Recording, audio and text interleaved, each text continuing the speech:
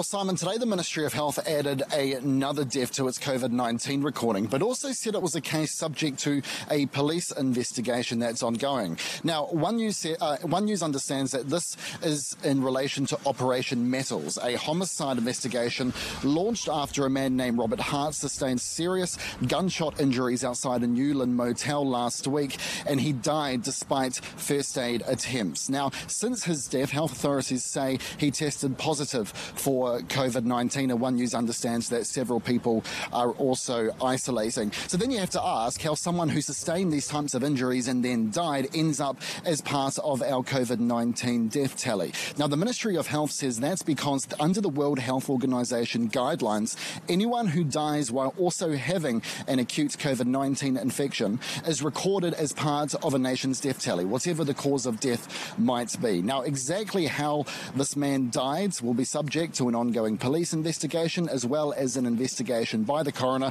And meanwhile, three people have been charged in relation to the death, and police are still hunting for a fourth.